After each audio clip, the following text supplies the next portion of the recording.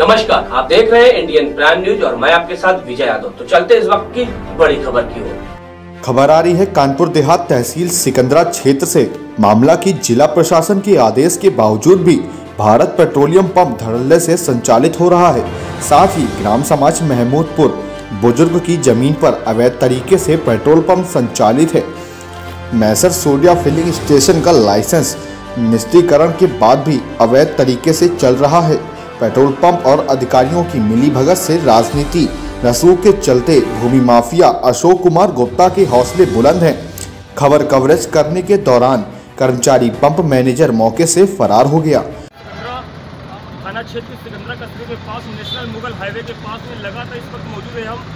Surya filling station के पास में। जैसा कि हम आपको बता दें कि कानपुर देहात डीएम के द्वारा आदेश जारी किए गए थे।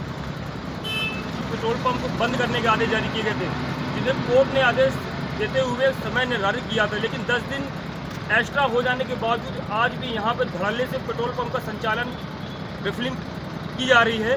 इसके बावजूद भी यहाँ के पेट्रोल पंप संचालन में किसी भी तरीके से शासन प्रशासन का डर, भय नहीं रहा। अब इनके ऊपर किनका हाथ है, किससे बेखौफ तरीके से यहाँ पर संचालन कर रहे हैं, ये बहुत बड़ी बात निकल के सामने आ रही। बता दें कि ये कानपुर और यह मुगल रोड का मामला है, जो मेन हाईवे के पास भी ये सूर्या फिलिंग स्टेशन बना हुआ है और यहाँ पर शासन की तरफ़ से आदेश जारी किए गए थे कि ये पेट्रोल पंप को बंद हो जाना चाहिए और टाइम भी दिया गया था, लेकिन टाइम होने के दस एक्स्ट्रा होने के बावजूद भी अभी तक यहाँ पर लगातार पेट्रोल पंप का संचालन किया जा रहा है। ये लगातार देख सकते किस तरीके से गाड़ियों में लगातार यहाँ पर पेट्रोल पंप में पेट्रोल सप्लाई की जा रही है। ये बहुत बड़ी बात अभी जबकि शासन की तरफ़ से इसमें कार्रवाई करते हुए इनको आदेश जारी किए गए थे कि 10 दिन एक्स्ट्रा होने के बावजूद भी अभी तक इस पेट्रोल पंप में ताला नहीं लगा हुआ है।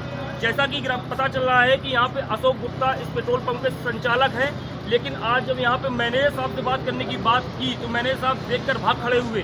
किसी भी तरीके से बात नहीं कर रहे हैं। हम आपको वो भी जगह ले ले चलते हैं जहाँ पर पेट्रोल पंप के मैनेजर दुबे जी यहाँ पर बैठा करते हैं ये लगातार देख सकते हैं, ये वो जगह है जहाँ पर पेट्रोल पंप के मैनेजर बैठा करते हैं और यहाँ पर जब बात करना चाहा इस संबंध में तो भाग खड़े हुए। किसी भी तरीके से पेट्रोल पंप को लेकर यहाँ के कर्मचारी बसते नज़र आ रहे हैं जिस तरीके से सकते ये सूर्या फिलिंग स्टेशन, सिकंदरा, कानपुर, देहात का मामला है। यहाँ पर शासन तरफ़ से आदेश जारी किए गए थे। इसके बावजूद भी लगातार इस पेट्रोल पंप का संचालन किया जा रहा है। हम अपने कैमरामैन साथी से कहना चाहेंगे, ये मैनेजर का केविन दिखाए। यहाँ पर जब इस संबंध में बात करना चाहा तो यहाँ के मैनेजर भाग खड़े हुए।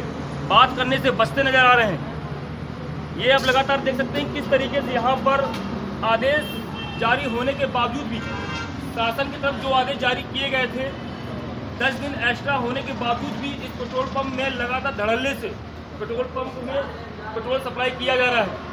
अब यहाँ के संचालक को किसका हाथ आशीर्वाद प्राप्त हो रहा है कि बेखौफ तरीके से यहाँ पर कोर्ट के आदेशों की अवहेलना करते हुए या तक कानपुर देहात ज़िले के अधिकारी डीएम साहब के भी आदेश की अवहेलना करते हुए यहाँ पर पेट्रोल का संचालन किया जा रहा है। इनको किनका हाथ रखा हुआ, ये बहुत बड़ी बात है। इंडियन प्राइम न्यूज़ के लिए जंग बहादुर की खास रिपोर्ट।